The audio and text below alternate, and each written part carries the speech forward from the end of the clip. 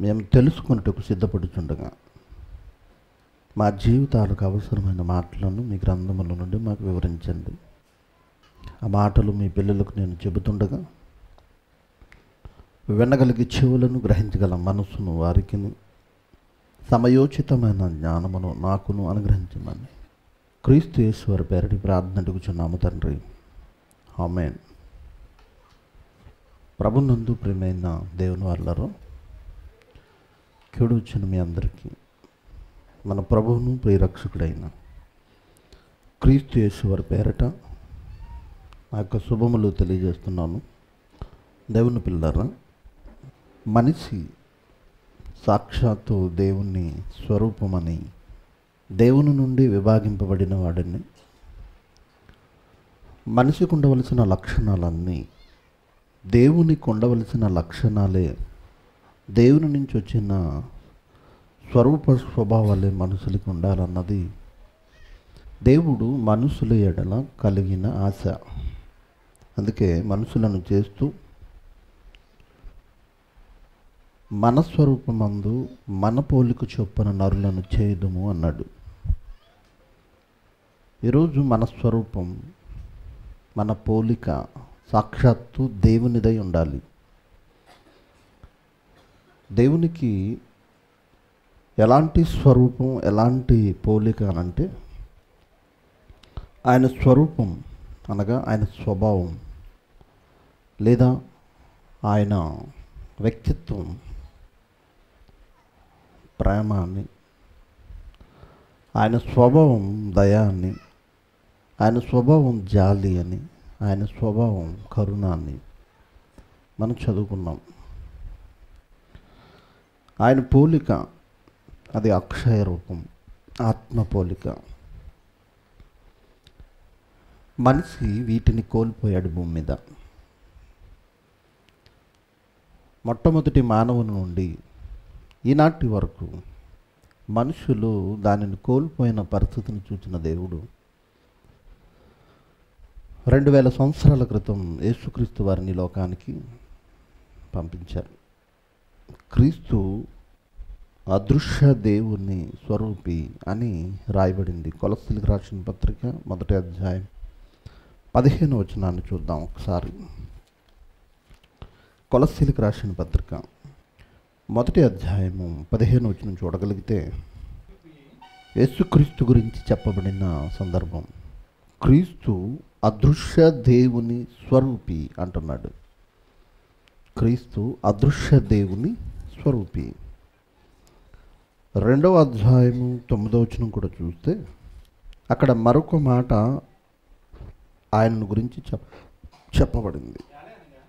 ఎలా అనగా దేవత్వము యొక్క దేవుని తత్వము యొక్క సర్వ పరిపూర్ణత. శరీరముగా క్రీస్తు నందు నివసించుచున్నది అన్నాడు. దేవుని యొక్క తత్వం అంతా తత్వం యొక్క పరిపూర్ణత అంతా శరీరముగా క్రీస్తు నందు నివసిస్తుందట. అంటే ఈరోజు దేవుని స్వరూపం కలిగి మనం జీవించాలని ఆలోచించే ప్రతి ఒక్కరూ. ఎందుకంటే పోగొట్టుకున్నాం. మనిషి పోగొట్టుకున్నాడు. దేవుని పోలిక దేవుని స్వరూపాన్ని మనిషి కాలరాసుకున్నాడు. అయితే ఈ కాలంలో ఉన్న మనము చాలా అదృష్టవంతులం. ఎందుకంటే పోయిన స్వరూపాన్ని పోయిన పోలికను లేదా పోయిన స్వభావాన్ని మరలా తెచ్చుకునే అవకాశాన్ని దేవుడిచ్చాడు. ఎలా అంటే క్రీస్తు అడుగుజాడల్లో నడవడం. దేవుని స్వరూపం అంతా దేవుని తత్వం యొక్క సర్వ పరిపూర్ణత అంతా క్రీస్తులో నివసించింది. యేసుక్రీస్తు దేవుని యొక్క స్వరూపం దేవుని యొక్క స్వభావం కలిగి ఈ లోకంలో జీవించి చూపించాడు. పోయిన ఆ స్వరూపాన్ని పోయిన ఆ పోలికను మనం తెచ్చుకోవడానికి దేవుడు చక్కటి అవకాశాన్ని ఈ కాలంలో మనకిచ్చాడు. ఎలా అంటే క్రీస్తు తర్వాత మనల్ని పుట్టించడం. పోయిన మన స్వరూపాన్ని పోయిన మన పోలికను మనం తెచ్చుకోవడానికి క్రీస్తు మన ముందున్నాడు. ఆయన అడుగుజాడలు మన ముందున్నాయి. ఆయన ఆలోచనలు మన ముందున్నాయి. ఆయన తత్వం మన ముందుంది. ఇప్పుడు నేను దేవుని స్వరూపం కలిగి లేదా దేవుని స్వభావం కలిగి జీవించాలంటే ఖచ్చితంగా క్రీస్తు అడుగుజాడల్లో నడవలసిందే. క్రీస్తు చెప్పినట్టు ఆయన జీవితంలో ఆయన చేసినట్టు మనం బ్రతకాల్సిందే. ఎందుకంటే మనం దేవుని చెంతన నివసించాలి. దేవుని దగ్గర శాశ్వత కాలం మనం బ్రతకాలి. ఎప్పటికైనా మనం చనిపోతాం. మన కళ్ళ ముందు ఎందరో చనిపోయారు. ఈ లోకం విడిచి వెళ్ళిపోవాలి. శాశ్వతం కాదు ఇది. ఈ లోకం విడిచి వెళ్ళిపోవడానికి సిద్ధపడుతున్న మనం ఒకవేళ ఉందామన్నా ఉండనివ్వని లోకం ఇది. ఉందామన్నా ఉండని పరిస్థితి దేవుడు మనకు ఏర్పరిచేశాడు.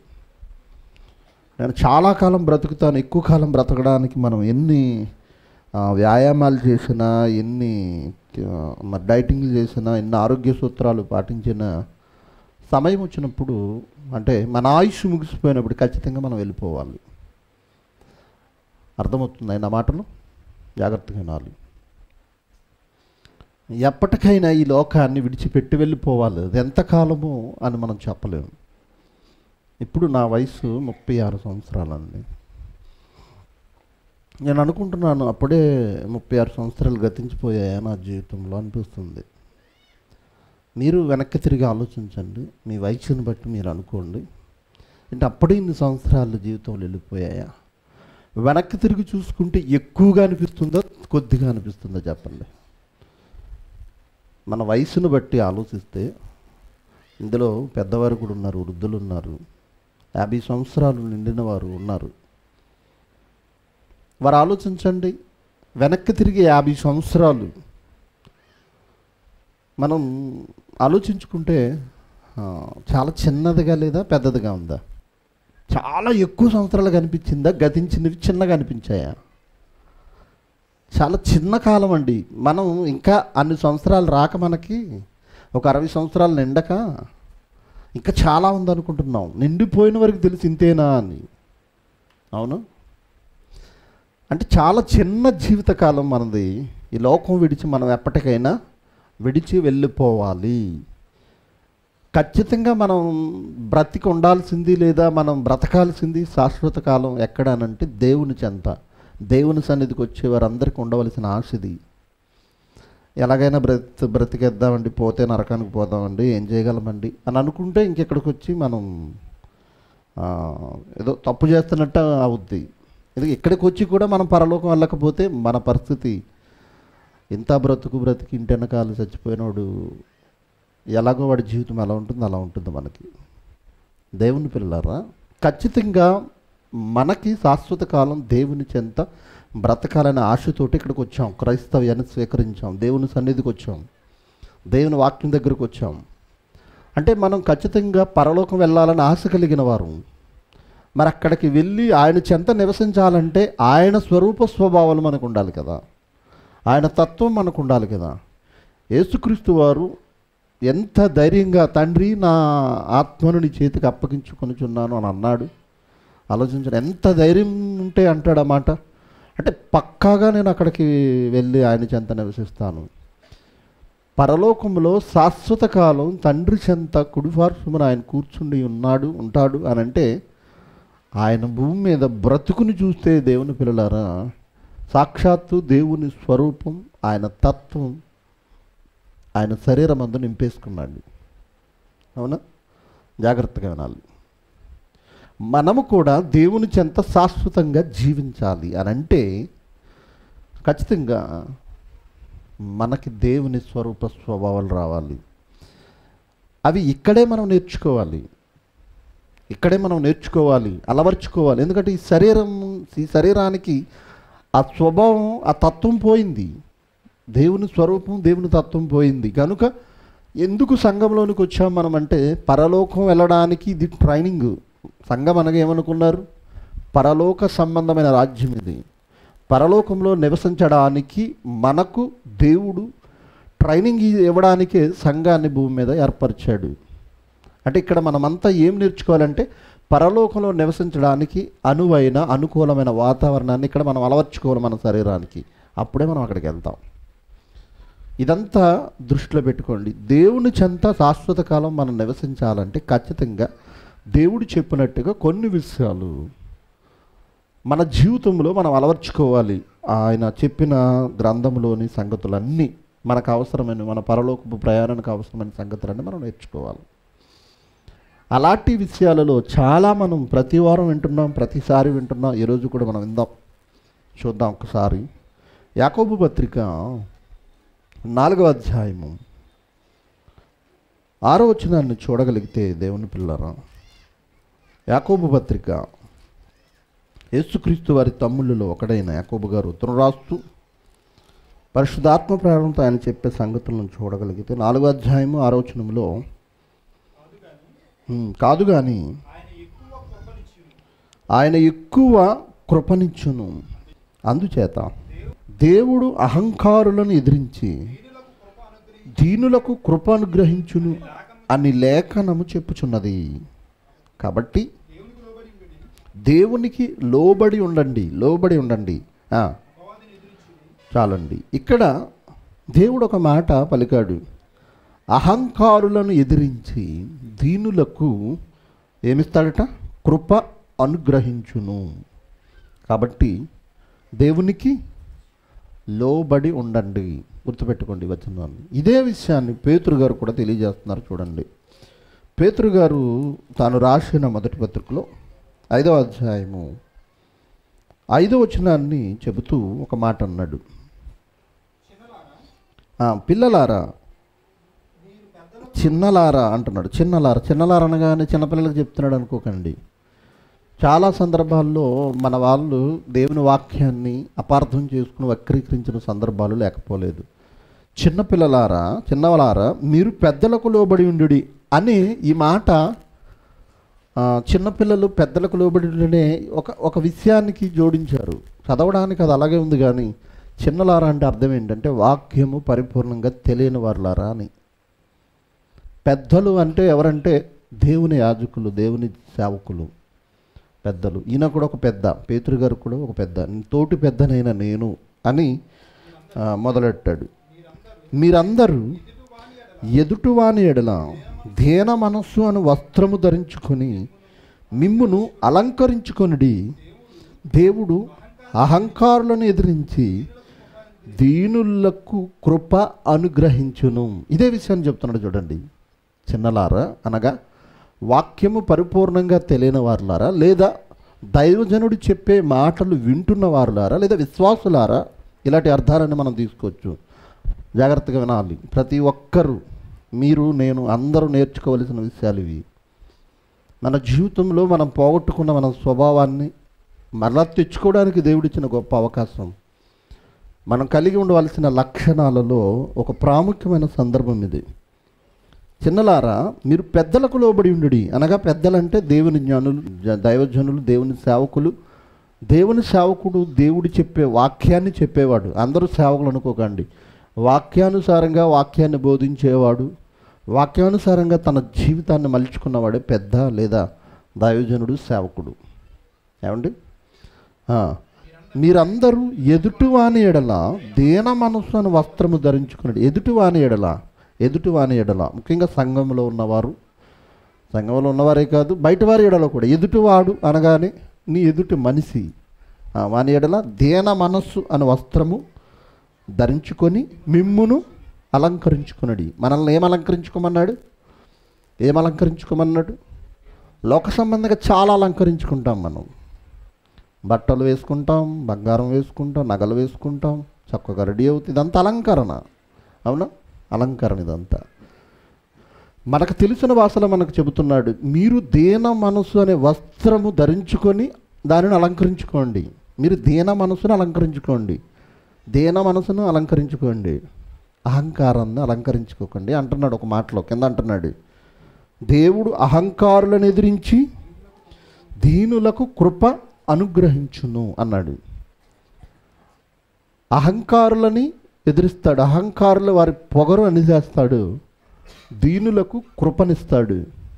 కాబట్టి మీరేం చేయాలి? దీనుడు అనగానే పేదవాడు అనుకోకండి. దీనుడు అనగానే తనను తాను తగ్గించుకునేవాడు. తన తప్పు తాను ఒప్పుకునేవాడు. ఇంకా చెప్పాలంటే ఎవరైనా ఒకవేళ మన మీద నేరం మోపినా తల దించుకుని దేవుని సన్నిధిలో నెమ్మదిగా ఉండేవాడే. దేన మనసు గలవాడు. ఓకే? దీనిని అలంకరించుకోండి అహంకారాన్ని అలంకరించుకోకండి అన్నాడు. చదవబడిన రెండు మాటల్లోని ప్రాముఖ్యమైన కామన్గా ఉన్న సందర్భం ఏంటంటే దేవుడు అహంకారులను అణిచేస్తాడు దీనులకు కృపనిస్తాడు. అహంకారులను అణిచేస్తాడు దీనులను హెచ్చిస్తాడు అనే సందర్భం మనకు కనబడుతుంది. గమనించండి దేవుని పిల్లలు ఈరోజు మనిషి యొక్క మనసు ఎంత కఠినమైపోయిందంటే దేవుడు చెప్పినట్టుగా అది మోసకరమైనది అంటున్నాడు.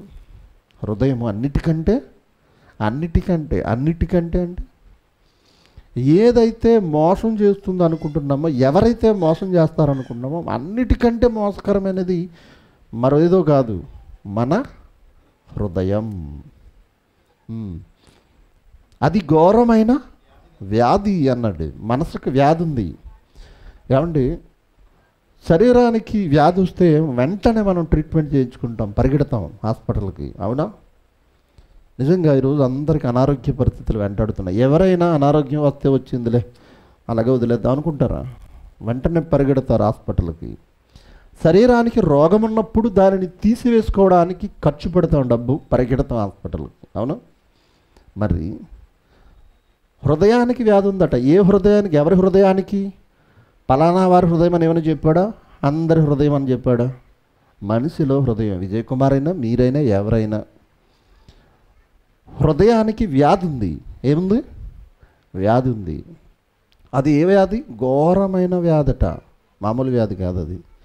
ఏమండి? అంటే ఇక్కడ నా హృదయానికి వ్యాధి లేదని అన్న వాళ్ళు ఎవరైనా చేతులెత్తండి ప్రపంచంలో ఎవరైనా? ఎత్తలేరు. ఎందుకు? దేవుడు చెప్పేశాడు. ఆ వ్యాధిని గ్రహించగలవాడెవడు అని కూడా చెప్పేశాడు. గ్రహించినవాడు ధన్యుడు ఎందుకంటే తీసివేసుకుంటాడు. శరీరానికి వ్యాధి ఉంటే మనం తగ్గించుకోవడానికి ప్రయత్నిస్తున్నప్పుడు హృదయానికి వ్యాధి ఉందన్నప్పుడు దానిని మాన్పించుకోవడానికి మందు వాడాలిగా? డాక్టర్ దగ్గరికి వెళ్ళాలిగా?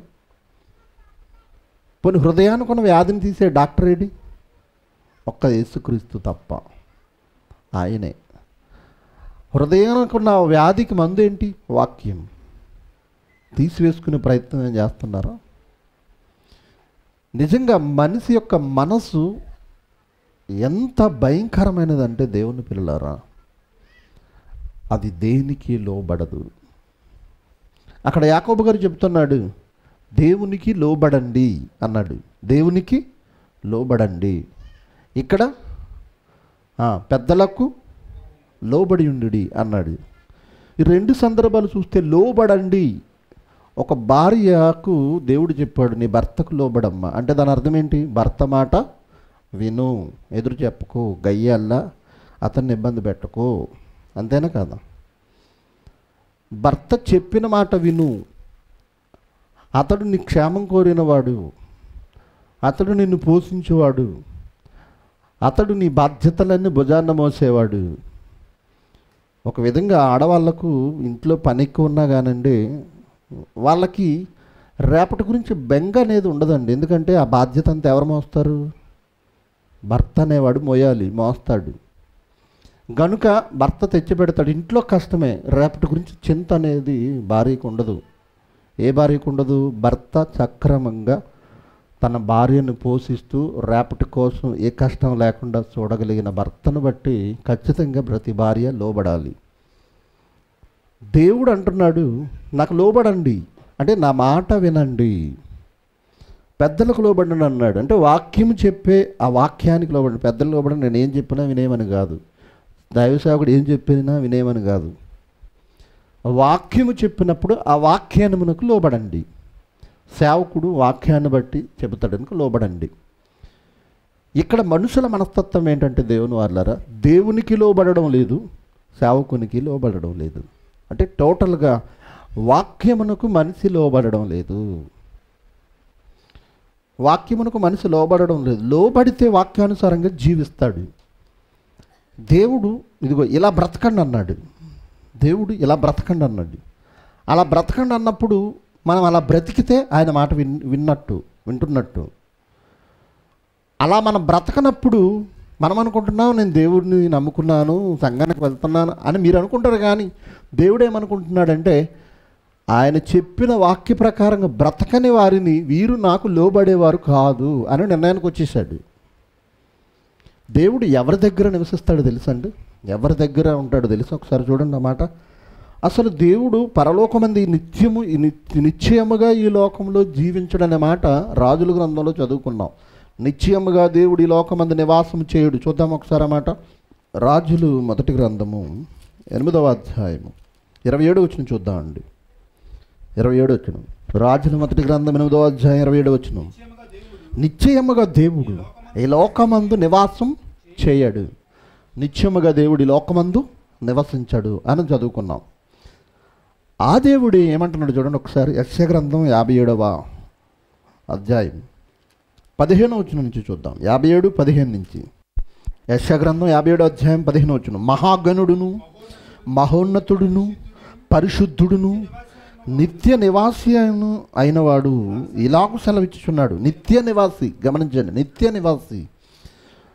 ఈ లోకమందు నివసించడు దేవుడు. నిత్య నివాసి పరలోకమందే నివసించేవాడు దేవుడు. ఆయన మహాశక్తి. సమీపింపరాని తేజస్సులో తాను మాత్రమే వసించుచు అమరత్వం గలవాడై ఉన్న దేవుడు పరలోకంలో నిత్య నివాసం ఏర్పాటు చేసుకున్నాడు ఆయన. మహోన్నతుడు మహాగణుడు పరిశుద్ధుడు నిత్య నివాసి అయిన వాడు ఇలాగ సెలవిస్తున్నాడు. చెప్తున్నాడు దేవుడు నిత్య నివాసినైనా నేను చెప్తున్నాను. ఏం చెప్తున్నానంటే నేను మహోన్నతమైన పరిశుద్ధ స్థలములో నివసించేవాడను. దేవుడు ఎక్కడ నివసించేవాడు? మహోన్నతమైన పరిశుద్ధ స్థలములో. ఈ లోకమంతా అపరిశుద్ధం అయిపోయింది ఈ లోకంలో నివసించడానికి ఆయన ఇష్టపడడం లేదు. పరిశుద్ధ స్థలం పరలోకం. పాపము లేని లోకం పాపము. ఒకవేళ మనసులు వచ్చిన సహించని లోకం అది. గెంటి వేశాడు. అపవాది మనసులో చిన్న ఆలోచన వచ్చింది. నేను మహోన్నతునితో సమానునిగా చేసుకుందని అనుకున్నాడు అంతే మనసులో. గెంటేశాడు పరలోకం నుండి. పరలోకములో పాపానికి చోటు లేదు. పరిశుద్ధులకే చోటు పరిశుద్ధమైన పరిస్థితే ఉంది. నేను మహోన్నతమైన పరిశుద్ధ స్థలంలో నివసించేవాడను.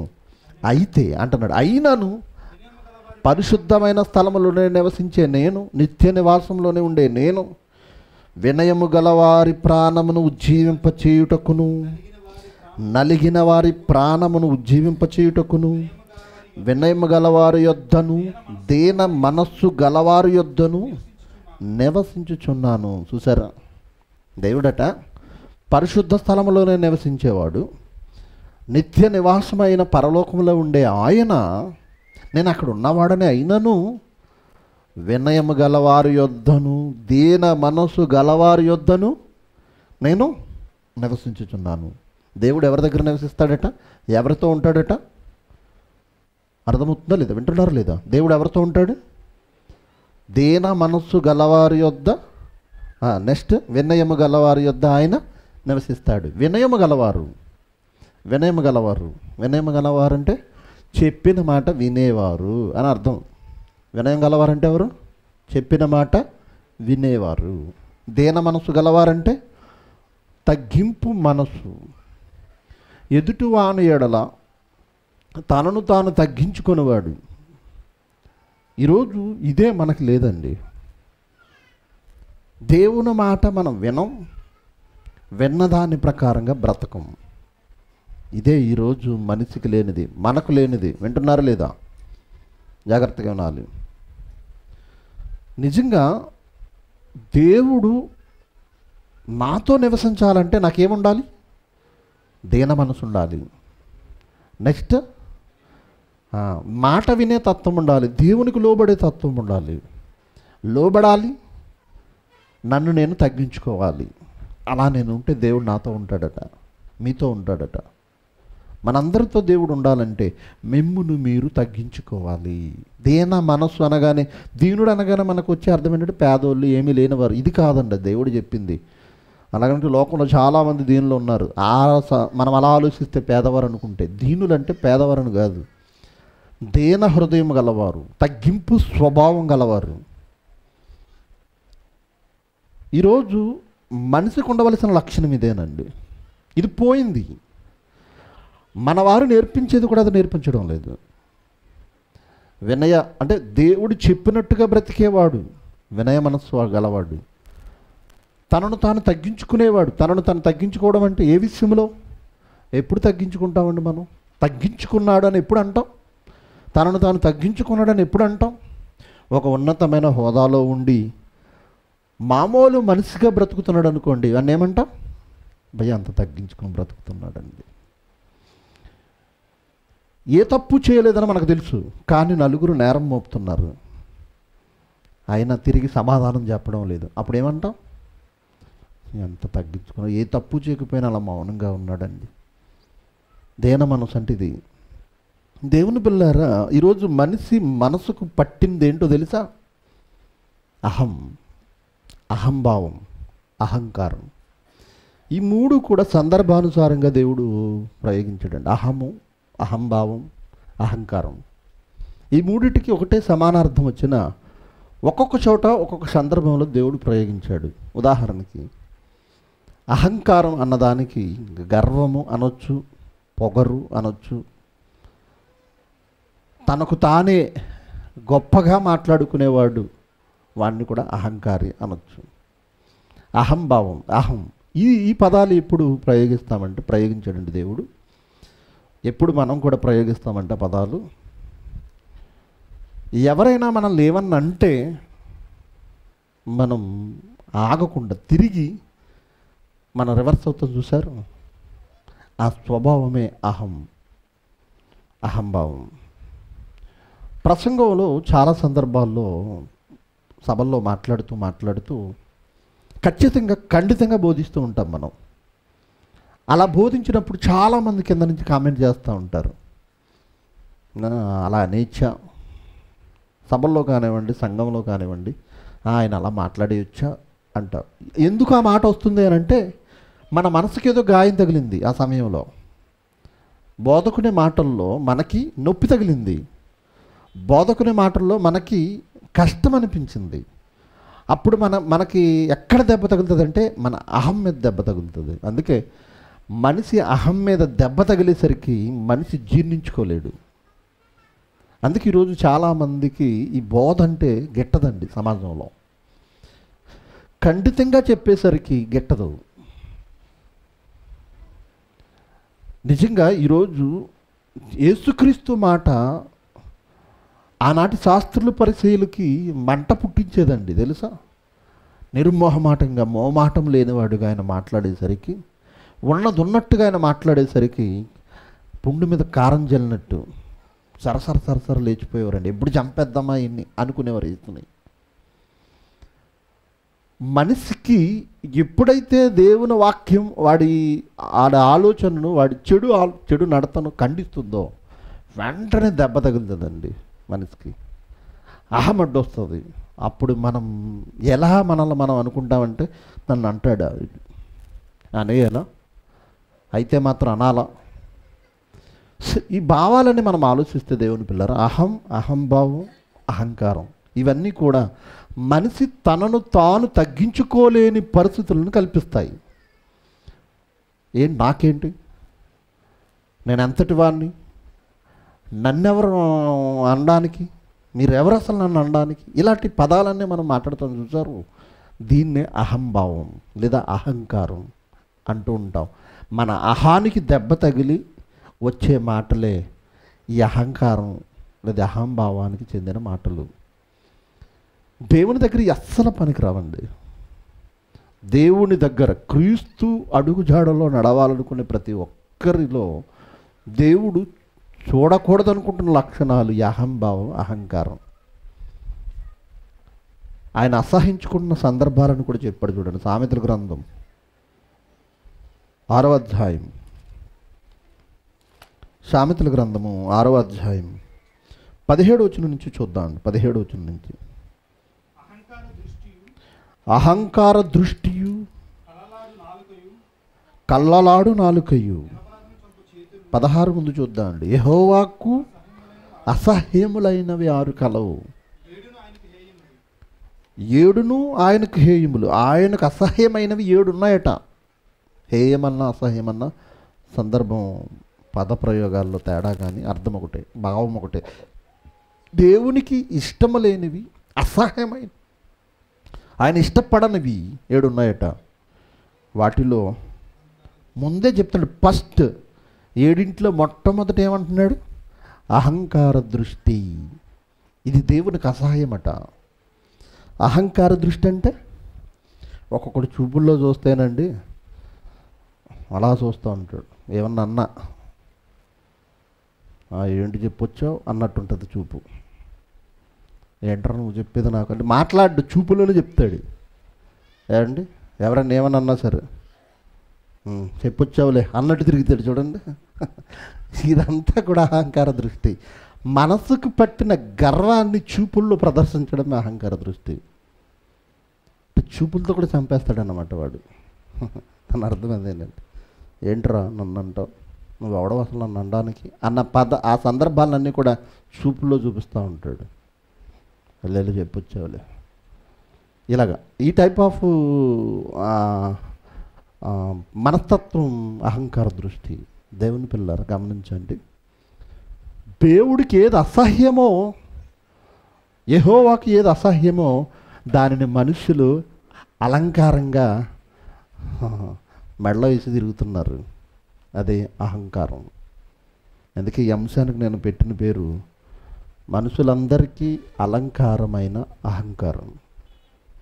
అహంకారం మనుషులకు అలంకారంగా మారిపోయింది ఈరోజు ఎవరి మెడలో ఎవరిని చూసినా మంచి వస్త్రాలు మంచి నగలు చక్కటి రూపకలంకారం లేదు. ఎవరిని చూసినా అహంకారమైన అలంకారం కనబడుతుంది మనుషుల్లో. నిజమండి. వాళ్ళ హృదయం వారి ఆలోచన వాళ్ళ మాట తీరు వారి పద్ధతి అంతా చూస్తుంటే అలంకారం అహంకారాన్ని అలంకారంగా అరికాల నుంచి నడినెత్తి వరకు అలంకరించేసుకున్నారు ఈరోజు. ఒకటే వస్త్రం అదే అహంకారం. మరొక సందర్భంలో కూడా చెప్పాడు దేవుడు ఎనిమిదవ అధ్యాయం పదమూడు వచ్చిన సామెతల గ్రంథం. ఎనిమిదవ అధ్యాయం పదమూడు వచనములో యహోవయందు భయభక్తులు కలిగి ఉండుట చెడుతనమును అసహించుకొనుటే చూసారు గర్వం అహంకారం ఈ రెండు వేరా? వేరండి.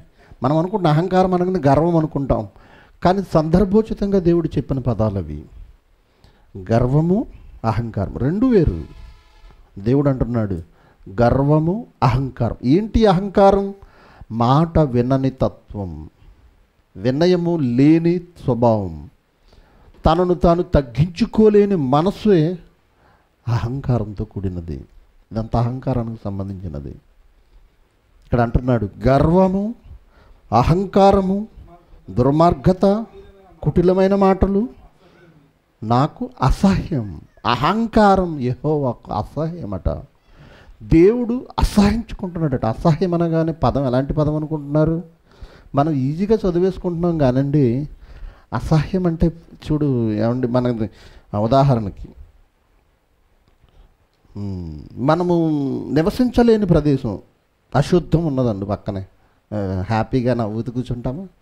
పక్కన ఫేస్ ఫీలింగ్స్ మారిపోతే ఇలా మారిపోద్ది. మన ఫేస్ అంతా అసహ్యమైన భావన మనసులో కనబడుద్ది. అంటే ఆ మొహం చూస్తేనేనండి కొంతమంది అంటూ ఉంటారు. కొంతమంది భర్తలు కానీ కొంతమంది భార్యలు. ఎందుకంటే మాట్లాడితే అలా అసహ్యంగా పెట్టుకుంటారు మొహాన్ని? ఎందుకంటే చిరాకు పడతారు? చిరాకు పడే సందర్భాన్ని భర్త కానీ భార్య కానీ ప్రదర్శించేటప్పుడు ఆ ఫేస్లో ఒక రకమైన విరక్తి భావం చెప్పొచ్చావులే అన్నట్టుగా పెడతారు. ఇది తలుచుకోండి ఊహించుకోండి. ఛీ అన్నప్పుడు మన ఫేస్ ఫీలింగ్ ఎలా ఉంటాయి చీ అంటే ఎలా ఉంటుందండి? నవ్వుతూ చీ అనగలమా? చీ అనే పదానికి ఆ ముఖ కవలికి ఎలా ఉంటుందంటే చిచ్చి అంటే ఫేస్లోనే కనబడిపోతుంది. దేవుడు అసహించుకుంటున్నాడట. చి ఇలాంటి వాళ్ళ. ఇలాంటి స్వభావమా? చిచ్చి ఇలాంటి వాళ్ళు నా దగ్గర వద్దు. ఏ విషయంలో? మనం ఈరోజు చెప్పుకుంటున్న టాపిక్ అహం కారం. అహంకారాన్ని దేవుడు అసహించుకుంటున్నాడు. దేవునికి అసహ్యమైనది మనకు అలంకారం అయిపోయింది. ఇంకా ఏం నివసిస్తాం ఆయన దగ్గర మనం? ఆయన దగ్గర మనం ఏం నివసిస్తామండి? దేవుని దగ్గర నిలవలేని స్వభావం దేవుని దగ్గర మనం నిలబడడానికి మనలో ఉండకూడని స్వభావం ఆ స్వభావాలలో ఒకటి. అహంకారం. అందుకన్నాడు మీరు దేవునికి లోబడండి. ఎందుకంటే దేవుడు అహంకారులను అణిచేస్తాడు. దీనులకు కృపనిస్తాడు. మన కళ్ళ ముందు యేసుక్రీస్తు వారు కనబడుతున్నారండి.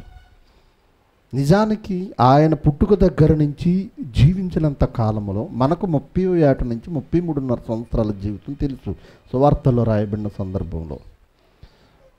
చెయ్యని నేరానికి ఆయన ఒక ప్రాంతంలో సువార్తను ప్రకటిస్తున్నప్పుడు జీర్ణించుకోలేక రాళ్ళతో కొడుతున్నప్పుడు నేను ఏం చేశాను రాళ్ళతో కొడుతున్నారు ఆయన ఎదురు నిలవలేదు అక్కడ. అలా తలదించుకుని వెళ్ళిపోయాడండి. అప్పుడు లోకం ఏమనుకుంటుంది? అందరు కొడుతున్నారండి. ఇప్పుడు మనమే ఉన్నాం. ఉదాహరణకి నేనే ఉన్నాను. రోడ్డు మీద నన్ను రాళ్ళతో కొడుతున్నారు. కొడుతున్నప్పుడు నేను వెనుదిరిగి వెళ్ళిపోతున్నాను. అప్పుడు చూసే వాళ్ళకి ఏమనిపిస్తుంది? వాడు ఏదో పెద్ద తప్పు చేశాడు అందుకే కొడుతున్నారు అంటారు. అవునా కదా? ఆడండి చాలా పుణ్యాత్ముడండి. అంటారా? చూసే జనానికి ఇదేం తెలియదుగా. వాడు ఎంత మంచోడో చెడ్డోడో తెలియదు దెబ్బలు తండమే చూసాం ఎవరైనా పది మంది కొడుతున్నారు అని అంటే ఆవిడ ఎవడో పాపై ఉంటాడు. వాడ దుర్మార్గుడై ఉంటాడు. ఆనాడు యేసుని అలాగే అనుకున్నారండి. అతను ఏమి అనకపోతే ఏమి చెయ్యకపోతే ఎందుకు కొడతారు? ఈరోజు మనం కూడా అనే మాట అది.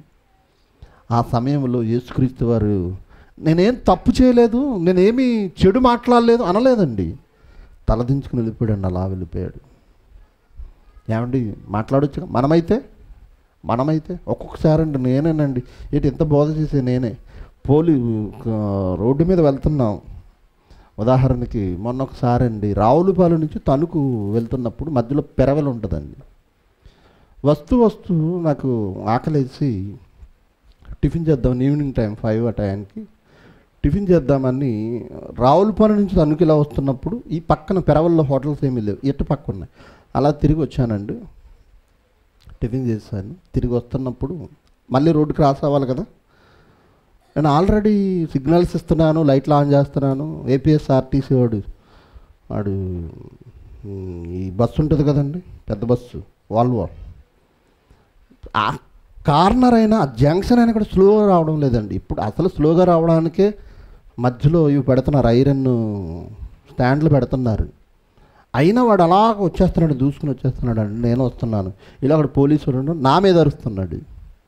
నేను అసలు దిగలేదు మాట్లాడలేదండి. వాడికి చెప్పరా ముందు అన్నానండి ఇలాగే. వాడికి చెప్పరా ముందు అన్నాను. పెద్ద నేను పోలీసుడు. ఆడికి చెప్పు నేను సిగ్నల్స్ ఇస్తున్నాడు ఆడడం లేదు. ఇంత జంక్షన్లో అంత ఫాస్ట్గా వస్తున్నాడు. అన్నప్పుడు ఏంటి నువ్వు మాట ఏంట్రా మాట్లాడుతున్నావు అన్నట్టు దగ్గరకు వచ్చాడు చూసి నమస్కారం విజయ్ కుమార్ గారు మీరా అంటున్నాడు. మీ టీవీ ప్రోగ్రామ్ చూసానండి అది ఏమనుకోకండి? రే రాగరాని నన్ను పంపాడండి బస్సు వాడిని నాపి అంటే ఆ సందర్భంలో ఒకవేళ అతను నాకు తెలియకపోయినా నా పరిస్థితి ఎలా ఉంటుందంటే అక్కడ? అక్కడ తప్పు నాది కాదనేసరికి నాకు ఎలా వచ్చేసింది? ఆ పోలీసుడైనా నాకు అనవసరం అన్నట్టుగా వచ్చేసింది భావం. అప్పుడప్పుడు మనం అలాగేనండి ఎదుటివారి మీద. మన తప్పు లేనప్పుడు ఫైర్ అయిపోతాం. ఏం తప్పు ఉందో నా నా తప్పు చెప్పు. నన్ను ఎందుకు అనాలి వాళ్ళు? ఇలా మాట్లాడుతూ ఉంటాం కదండి. ఇది అస్సలు దేవునికి నచ్చదండి.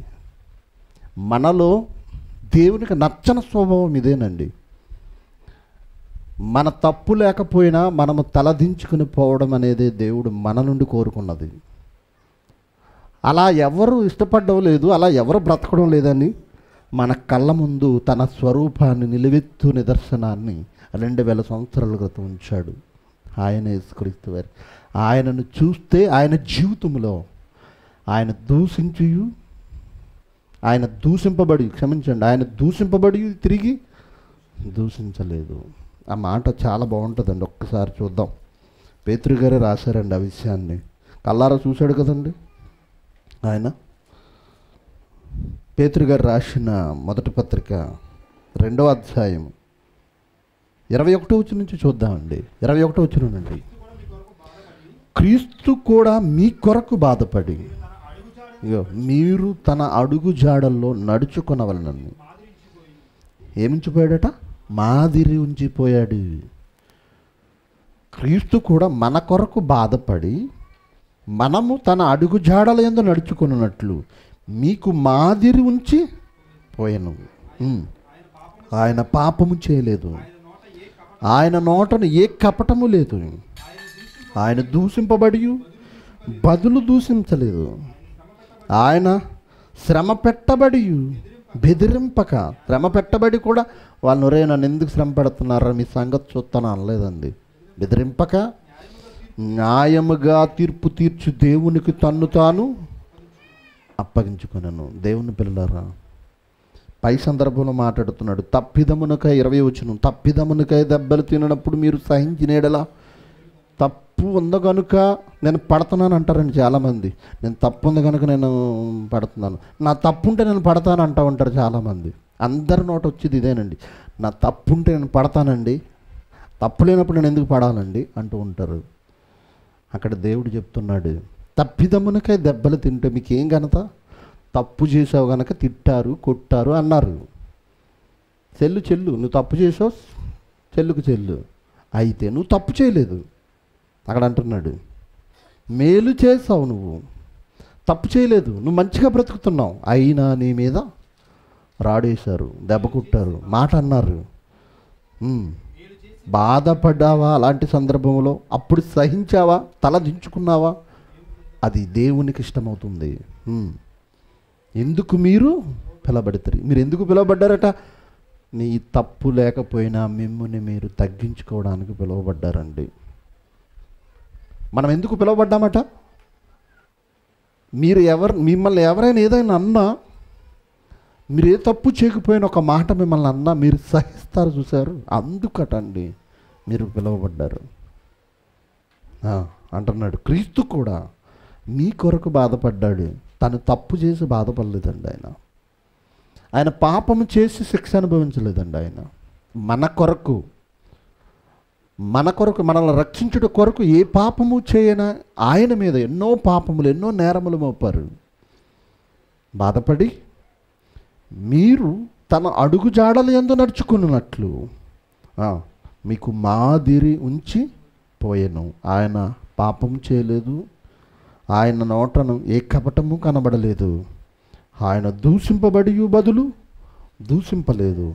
ఆయన శ్రమ పెట్టబడి బెదిరింపక న్యాయముగా తీర్పు తీర్చు దేవునికి తన్ను తాను అప్పగించుకొనెను. ఆ సమయంలో యేసుక్రీస్తు వారు అనుకున్న మాట ఏంటో తెలుసు? ఆయన మనసులో అనుకున్నది ఏంటో తెలుసా అండి నా తండ్రి ఉన్నాడు చూస్తున్నాడు ఆయన. ఆయన అన్యాయం చేయడు. అందరికీ తీర్పు తీర్చి ఒక రోజు ఉంది అని తనలో తాను అనుకున్నాడండి. అంతే కదా దాని అర్థం?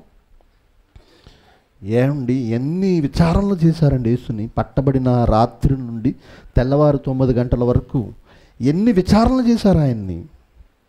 పిల్లతో అడుగుతున్నాడు చూసా వారు ఎన్ని నేరములు మోపుతున్నారు చూడు. నాతో మాట్లాడు చాలు నిన్ను విడిపించేస్తాను అప్పుడు ఆయన అన్నమాట బాబాబు చాలా నిజంగా వాళ్ళందరూ నేరాలు మోపుతున్నా కానీ నువ్వు దేవుళ్ళని నన్ను ఆదుకుంటున్నావు. పిల్లతో నువ్వు గవర్నర్వి నీతో చెప్పుకుంటా నన్ను విడిపించి అనలేదండి ఆయన.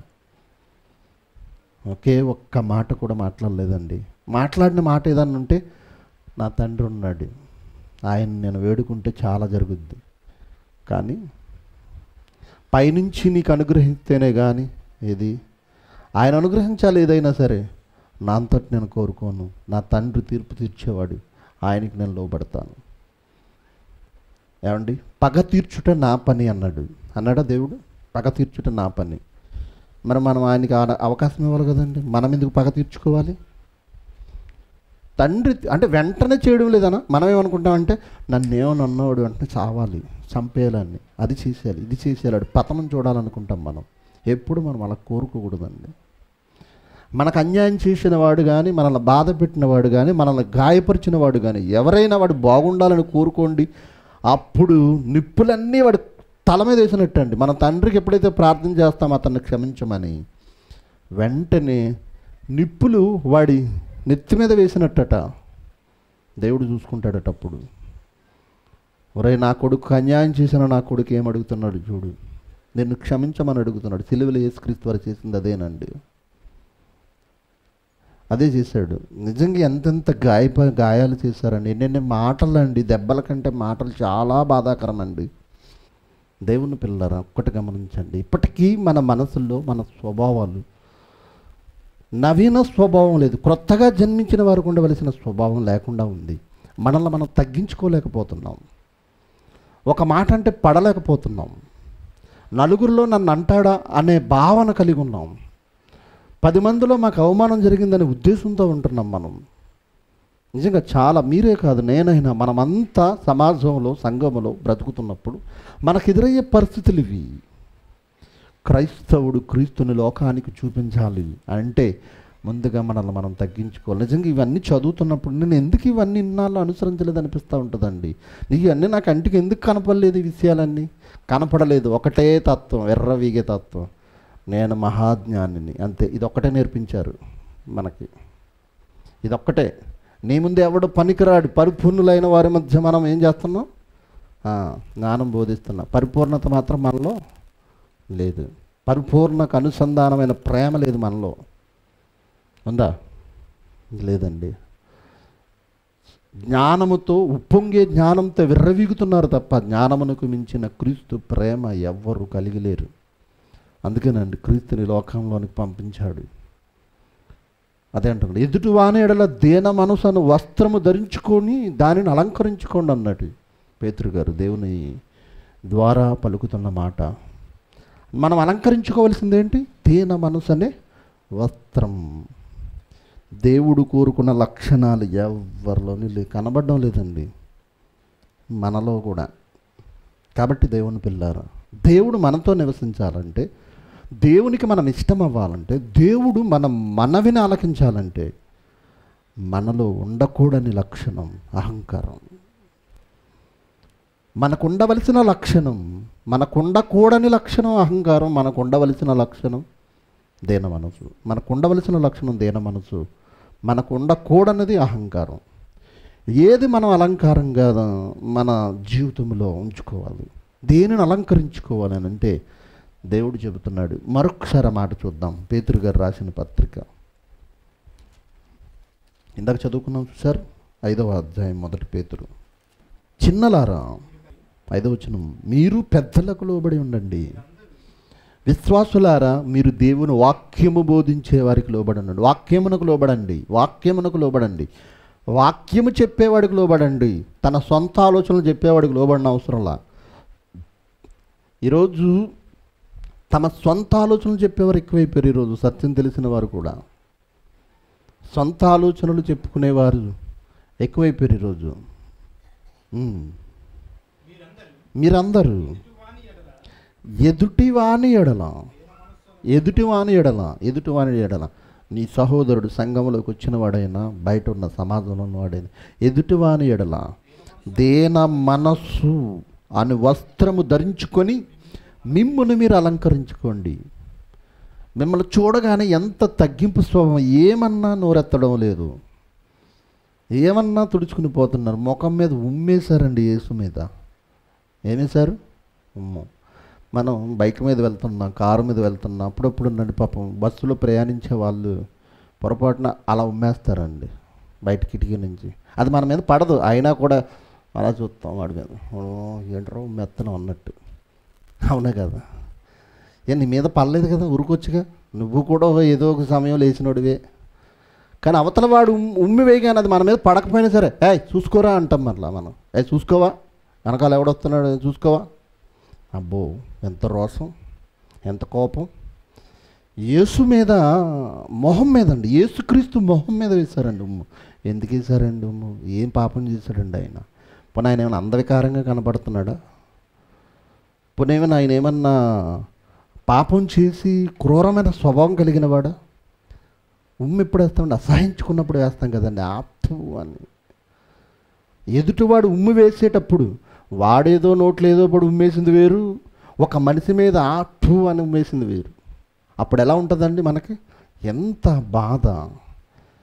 అదంతా అణుచుకున్నాడండి క్రీస్తు వారు. ఇంత తగ్గింపా అండి? ఇంత తగ్గింప? మనం ఏం చేస్తాం?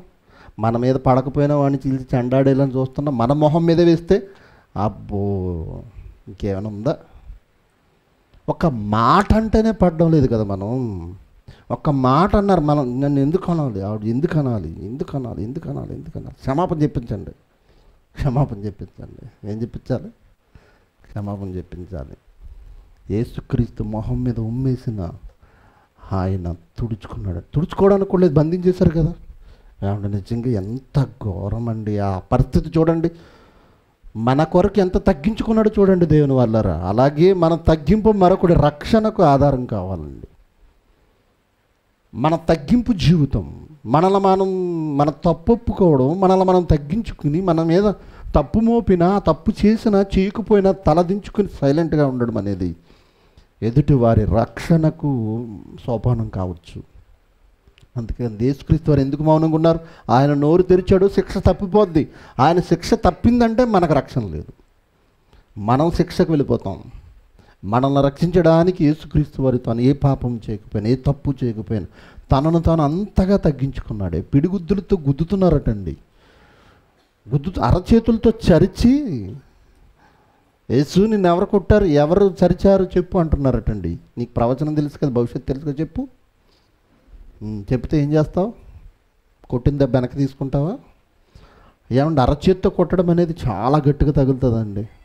అందుకు మన పిల్లలు చిన్నపిల్లలు మనల్ని అప్పుడప్పుడు సరదాగా కొడతారు మొహం మీద కొట్టేస్తారు. కొట్ కొట్టేస్తూ ఉంటారండి అప్పుడు. చిరాకు వచ్చింది. "ఏ, అంటూ ఉంటాం. చాలా గట్టిగా తగ్గుతుంది అరచేయి దెబ్బ.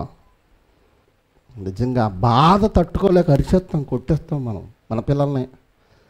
అలాంటిది యేసును కొడుతుంటే ఎలా తట్టుకున్నాడండి? గుద్దుతుంటే ముండ్ల కిరీటం పెట్టి రెల్లుతో అలా కర్రతో కొట్టారటండి. ఆ ముళ్ళు నుదుటికి దిగిపోయినప్పుడు నాకు ఎందుకు వచ్చిన కర్మ రాదు? ఛీ! అనుకోలేదండి ఆయన.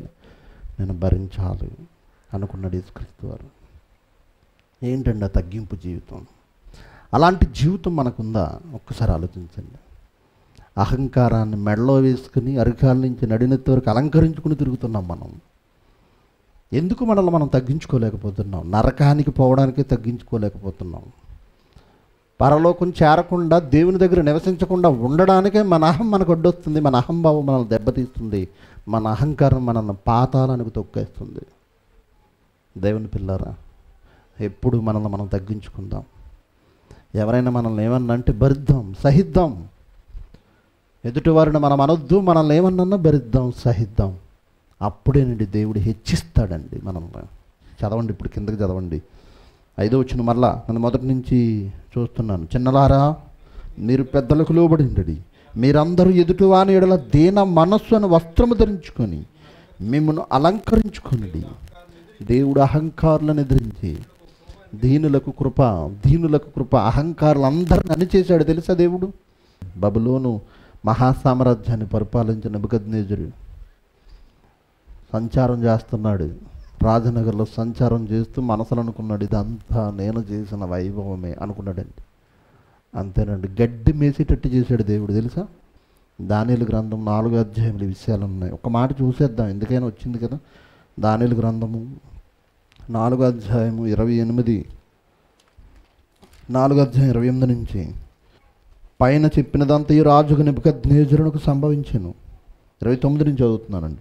పన్నెండు నెలలు గడిచిన పిమ్మట అతడు తన రాజధాని యొక్క బబులోనులోని నగరునందు సంచరించుచుండగా. దాని గ్రంథం నాలుగు అధ్యాయం ఇప్పుడు ముప్పై వచ్చును రాజు బబులోనును ఈ మహావిశాల పట్టణము నా బలాధికారమును నా ప్రభావ ఘనతను కనబరుచుటకై నా రాజధాని నగరముగా నేను కట్టించినది కాదా అని తనలో తాను అనుకున్నట్టు ఈ మహావిశాల పట్టణం ఈ బబులోను ఈ రాజధాని నగరం నేను కట్టించింది కాదా? అబ్బా.